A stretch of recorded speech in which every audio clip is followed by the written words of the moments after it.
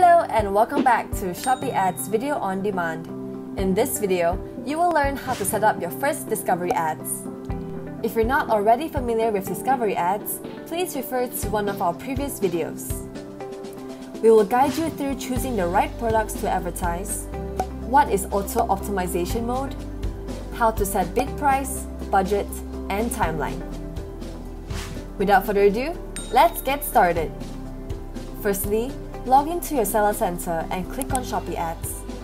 Make sure you have selected Discovery Ads on the top left bar. Click on Add New Discovery Ads. Select the products you want to advertise. If you're looking to grow sales, focus on bestsellers with great sales performance and products with great selling potential such as promotional items. To boost profit, focus on bestsellers, especially those with a high profit margin. To increase exposure of new products, choose new products to boost their exposure and test their market potential. Once you have selected the products, click Confirm button. Set your bid price for each advertisement. Use the suggested bid price for better ad exposure. Discovery ads are set to no budget limit and no time limit by default. Use this setting if you would like your ad to have a sustained exposure.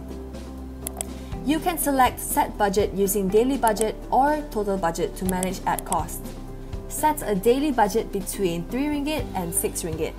And to grow your sales, check your ads after 5 to 7 days and increase the daily budget for ads that perform well. You can also select the button Set Start and Date if you have a specific duration in mind for your ad campaign.